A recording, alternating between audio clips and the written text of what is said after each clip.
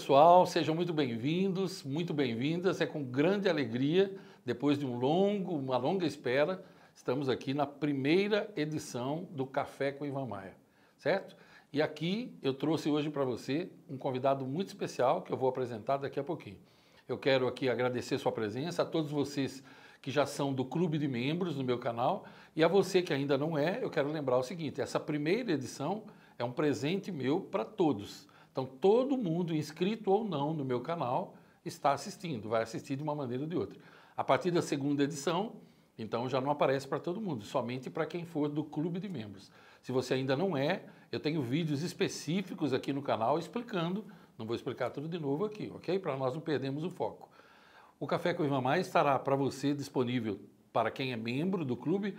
Toda terça-feira vai ao ar às 16 horas. O nome foi escolhido pelos membros do clube e o horário e a data também. Então, tudo isso foi votado em enquete. Quando você fizer parte do clube de membros, você também será sempre consultado. Muito bem, eu trouxe para vocês hoje o assunto é seríssimo e eu quero apresentar uma pessoa muito especial. Milton Mussini, ele é um policial civil, ele é lá de São Paulo, e eu o conheci esse ano, no início da pandemia, quando eu comecei a fazer mais trabalhos online, nós nos encontramos e o trabalho dele me interessou demais porque está 100% alinhado com o trabalho que eu mesmo faço. Vocês sabem, quem me acompanha, que a minha missão de vida é ajudar pessoas a viverem melhor e mais felizes nas sete áreas de suas vidas. Então, Milton, seja muito bem-vindo. Obrigado por ter aceitado o meu convite. Por favor, se apresente aí para o pessoal para eles se conhecerem um pouco mais. Bom, eu que agradeço, Ivan. É uma honra estar participando desse novo projeto seu, o Café com Ivan Maia. Então, eu sou o Milton Mussini, sou policial civil em São Paulo há 29 anos e há 26 anos eu desenvolvo um trabalho de prevenção às drogas, ajudando pais e mães a educarem seus filhos para que eles se ensinem a dizer não às drogas.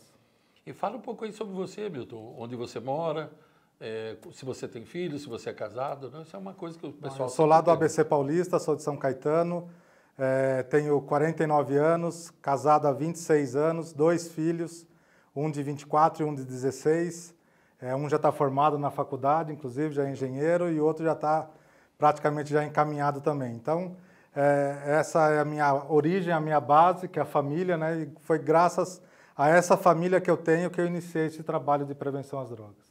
Muito bem, pessoal. Vocês já viram, dá para imaginar o que vem pela frente, certo? E é importante lembrar o seguinte: em poucos minutos que nós estamos aqui, não vai dar para eu, eu e ele contarmos tudo que você precisa saber. Então lembre-se sempre, no final eu te relembro isso, é importante a partir de hoje você começar a seguir o trabalho dele também. Você já percebeu? Você sabe que a família, para mim, abaixo de Deus, é a base mais importante que a gente tem na nossa vida. E se você tem crianças, jovens, adolescentes, eu tenho certeza que esse assunto é fundamental. Milton, há quanto tempo você começou esse trabalho e o que, que fez você ter a ideia? Policial civil, você mexe com dores, com sofrimento repressão, o tempo todo. É. Então, é, é, muito comum ter a repressão, né? Mas fale para nós o seguinte, provavelmente você que está nos assistindo aí já deve estar com essa pergunta. Mas quando começou e por quê? O que, que levou? Sempre tem uma história por trás. Qual é a história e há quanto tempo você está fazendo então, isso? Isso começou há 26 anos atrás, quando eu, tava, eu tinha 23, 24 anos, três anos de polícia, ainda vibrando com a polícia, ainda com aquela energia de querer prender todo mundo tal. Aí a gente estava fazendo um flagrante de apreensão de um adolescente de 16 anos que foi pego traficando, e nisso a mãe chegou na delegacia.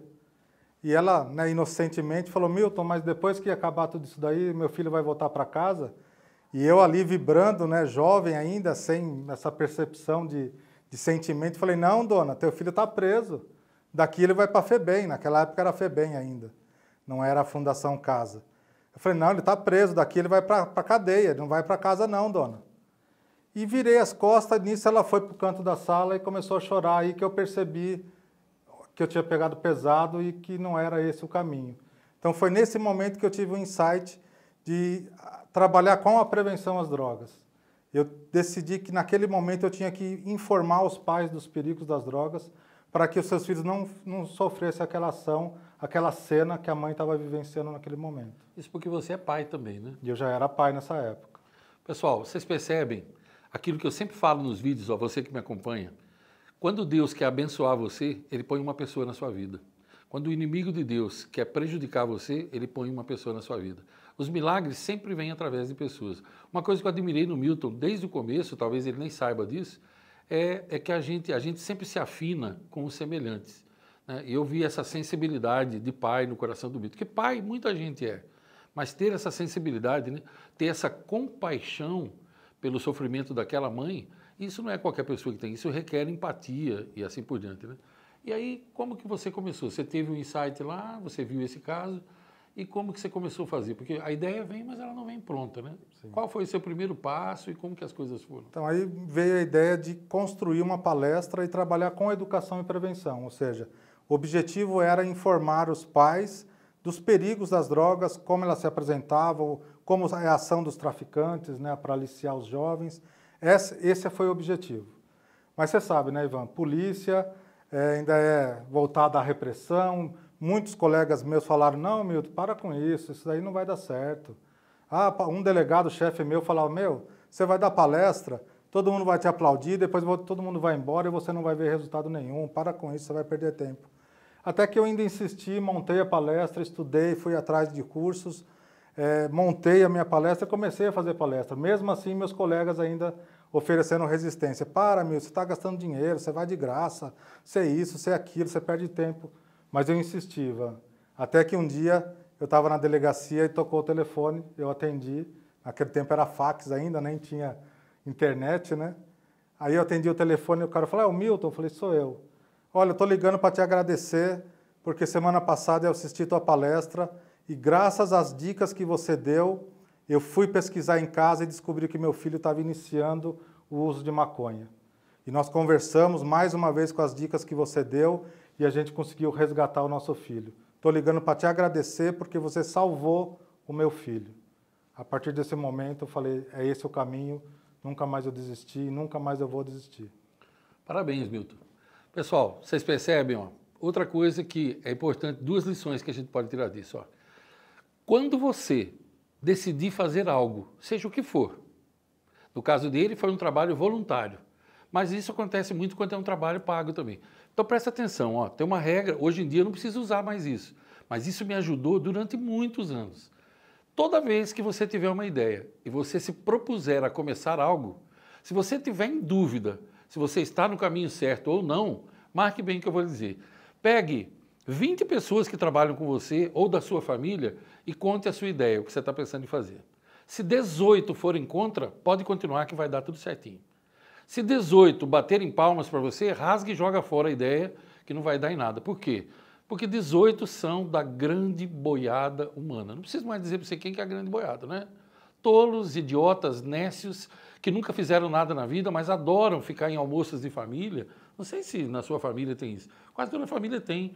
Tem um tio rico, né? Você já viu isso? Um tio rico e tem aquele monte de tio pé de chinelo que passa o tempo inteiro falando sobre o que teriam feito na vida, caso algum dia eles tivessem feito alguma coisa. Né? Isso é, é, básico. E a segunda lição é a seguinte, ó, quando você está no caminho certo, qual que é a prova dos nove para você? A prova dos nove é que uma vida vai ser transformada. Olha, se a gente parar para analisar, Milton, os seus colegas, eles não estavam errados. Veja bem, o seu chefe não estava errado. A maioria não vai ligar. Eles vão aplaudir, vão voltar para casa e tal. Mas a gente dizer que todos não, às vezes, ó, às vezes, não sei se isso já aconteceu com você, eu já dei um curso para 80 pessoas, um final de semana inteiro, certo? Cansado. E no final, uma pessoa diz, ó, esse curso você deu para mim. Então, às vezes, no meio de 80, é uma pessoa. Nunca menospreze o trabalho que você pode fazer, nunca. Especialmente se o seu trabalho for em prol de outros. Porque o trabalho do Milton é em prol do ser humano. E claro que vai ter resistência, óbvio, porque o mundo pertence à boiada. Mas o importante é você se lembrar de Vitor Hugo quando ele disse: Conviva com idiotas, se for necessário, trabalhe para alguns, até contrate alguns, mas jamais torne-se um deles. Isso é muito importante. Agora, tem, teve algum caso nesse, nesses 23 anos, teve algum caso que marcou mais para você, assim? Se sim, conta ah, para nós, por favor. É, foi num, num, dia desses na delegacia também, já às nove e meia, dez horas da manhã, chega a equipe nossa com um adolescente de 12 anos de idade, foi pego vendendo droga na frente da escola. já às 10 horas da manhã. E a gente conversando com o adolescente, que eu sempre quis conversar, porque o adolescente hoje é cheio de direito, né, Ivan? É. Ele chega na delegacia com o narizão empinado, não me toque, mas aí eu falo para ele, senta aqui, amigo, aqui ninguém vai encostar a mão em você. Só quero o telefone do seu pai. Ah, quando eu faço essa pergunta, o cara desmonta e pronto, né? Mas nesse caso foi diferente porque eu falei com esse jovem, ele tinha acabado de perder a mãe, vítima de infarto, há um mês e meio atrás, mais ou menos, da prisão, e o pai tinha falecido também há um mês e meio atrás, é, também de infarto. Então ele perdeu o pai e a mãe rapidinho. E desse meio, acho que ele se desvirtuou e caminhou para o mundo das drogas. E era o avô e a avó que cuidava desse jovem. Nisso sobe a escada o avô, 78 anos, macacão todo sujo de serralheiro, que ele era um serralheiro, trabalhava ainda aos 78 anos. A lei determina que ele fosse encaminhado para, na época também era FEBEM, e o avôzinho dele chegou, abraçou ele no final e falou: Filho, quando você sair de lá, o vovô vai estar lá te esperando e a gente vai vencer. Aí não tem como, né, Ivan?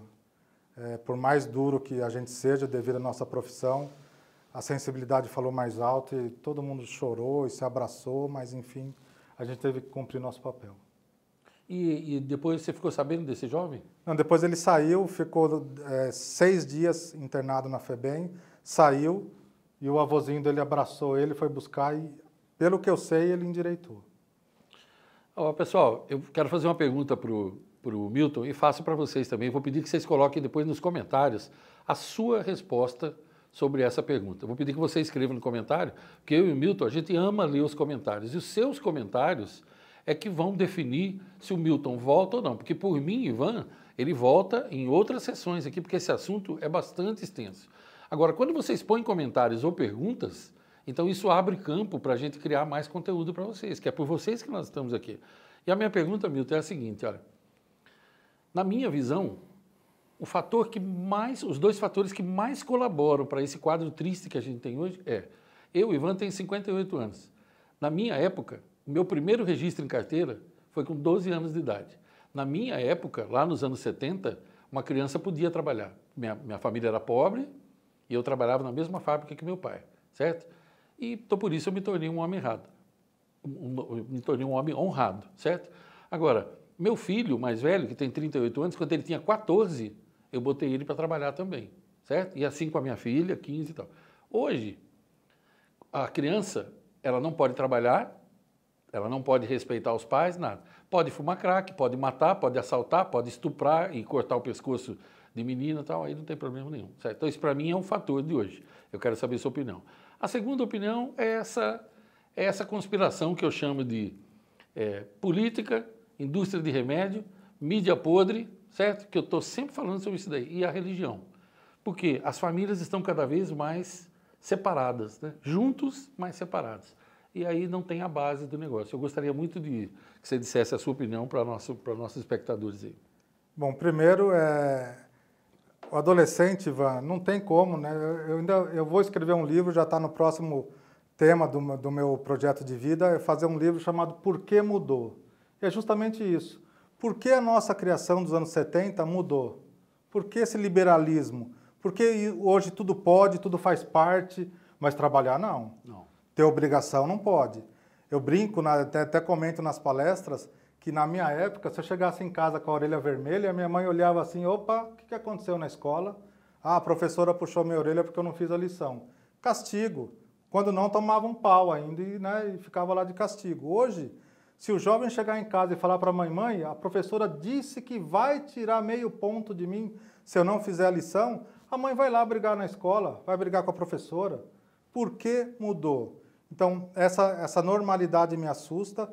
É, é inadmissível um jovem de 14, 15, 16 anos já marmanjo não poder trabalhar, não poder já ter base na sua vida, e isso gera né, cabeça vazia, a oficina do diabo. Isso vai gerar é, desvios de conduta e vai levar ao tráfico, ao mundo das drogas, não tenha dúvida sobre isso. Agora, quando a gente fala em política, religião, mídia, é um crime o que a mídia está fazendo com a nossa sociedade hoje. É um crime o que a mídia está fazendo com as famílias brasileiras hoje. Todo programa dessas TVs abertas é prostituição, é traição, é sexo, é fama a todo, a todo momento pessoa lá em casas luxuosas, mas você não vê ela trabalhando, mas vê numa vida de luxo. E esses são os exemplos que a mídia dá para os nossos jovens. Esses programas sensacionalistas que mostram lá o bandido morto no chão, o sangue escorrendo, o repórter entrevistando a mãe do bandido. E a para. culpa é sempre do policial. E a culpa é do policial, é, não é? Isso foi uma construção que a mídia fez desde o do, do meados dos anos 70 para cá, que foi colocar as instituições é, federais, as, as, instituições públicas contra a população. Então, a primeira opinião, ah, a polícia errou. Né? Mas não importa se ele matou, se ele roubou, enfim. Então, isso realmente é um crime que está acontecendo com a, nossa, com a nossa sociedade hoje, sem falar da religião que né, coloca aquelas bitolas de cavalo na, nas pessoas que eles só olham para frente e não, não abrem o leque de visão. Né, a grande boiada humana que caminha em direção ao matadouro do fracasso e da infelicidade. Ai, como! Olha, tudo que você planta, você colhe. Você, pai e mãe que está nos assistindo, tudo que você planta, você vai colher. Pode ficar tranquilo com relação a isso daí. Eu não tenho alegria nenhuma em dizer isso para você. E olha, vocês, pais e mães que estão nos assistindo, se vocês ainda não conhecem o meu outro canal, Rasgando o Verbo, conheçam. Já tem três vídeos lá que vão balançar sua goiabeira, nem folha vai ficar. Porque lá eu falo dessa conspiração. Eu falo da erotização infantil, da destruição sistemática da família. E para você que acha que é tudo mentira, faz o seguinte, ó, pesquisa na internet a cartilha de Karl Marx, certo? Um vagabundo, vamos dizer, quem foi Karl Marx? O autor de tudo isso daí. Um vagabundo, certo? Decrépito mental, que pregou contra o capitalismo, nunca trabalhou um dia em toda a sua vida, casou com a filha do industrial e foi sustentado por ele a vida inteira. Ou seja, é a marca dessa gente maldita, tá? E tem gente que acha ruim de eu falar. palavra maldita, não sou eu que estou amaldiçoando, não. É Deus que amaldiçoa isso, porque vai contra tudo. Então, Milton, por favor, deixa uma mensagem final para os pais e mães. Ah, você falou de livro, você tem livros, então isso é importante a gente falar também, pessoal. Tenho dois livros, Ivan, esse é o primeiro deles o Drogas, Pais e Filhos, que eu te apresentei Olha também. que legal, pessoal. Drogas, Pais e Filhos, ó. Livro simples de ler, mas um conteúdo riquíssimo. A grande marca Inclusive, eu ganhei meu hoje aqui. É a, a, facilidade da leitura. E esse baseado na vida real, a realidade sobre a maconha, que eu falo um pouquinho sobre a liberação da droga que está em prestes a acontecer isso no Brasil. E a gente pode até falar um dia sobre isso, só sobre a legalização das drogas. Pessoal, prometo para vocês, ó, ganhei meus dois exemplares hoje, prometo que vou ler e vou fazer um vídeo no meu canal sobre cada um desses livros aqui, tá? Com participação do Milton também, lá no, nesse nosso canal convencional aqui, né? Milton, por favor, palavras finais aí para os pais e mães que nos acompanharam, tios, tias, avós, avós. Então, você pai, você mãe que está nos assistindo, é, saibam que hoje no Brasil existem 2 milhões de jovens entre 12 e 16 anos que fumam maconha diariamente. Então, você acha que isso está longe da sua casa, preste mais atenção. Abra sua mente e procure se entender, se informar mais sobre o assunto de prevenção, para poder você falar isso com o seu filho. Não é para você, não é para mim, não, é para o seu filho. Se instrua, se atualize e promova a prevenção dentro de casa. De que jeito? Amando a pessoa que mais você tem nesse mundo. Pratique esse amor e ame os seus filhos diariamente. Ivan Maia, muito obrigado pelo canal, obrigado pela presença, pela oportunidade de estar aqui, abrilhantando e fazendo parte desse seu novo projeto. Muito obrigado. Agora, pessoal, talvez né, você, com esses políticos maravilhosos que a gente tem aqui nesse país, nesse país que virou um cesto de lixo, né, perdoe a impressão, porque é isso que esse país virou.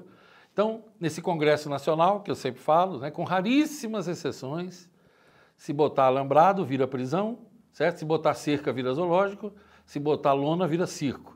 Então, talvez você estava escutando falar de liberação da maconha e aquela, aquela conversa toda. Olha, então eu vou falar uma coisa que eu aprendi com o Milton. Se você quiser saber qual o resultado da liberação da maconha, tal, tem uma pessoa que você deve conversar, especialista sobre isso. Procure um pai, uma mãe que tem um filho que usa drogas e que é dependente e converse com ele. Aí é uma pessoa que pode dar uma aula para você, se você ainda é daquele que acha que vai ficar tudo bem. Pessoal, essa é a nossa primeira edição. E eu estou muito grato, porque se você acha, sempre falo que sozinho a gente não faz nada, né? Então, além de mim, além do Milton, tem toda uma estrutura por trás disso aqui.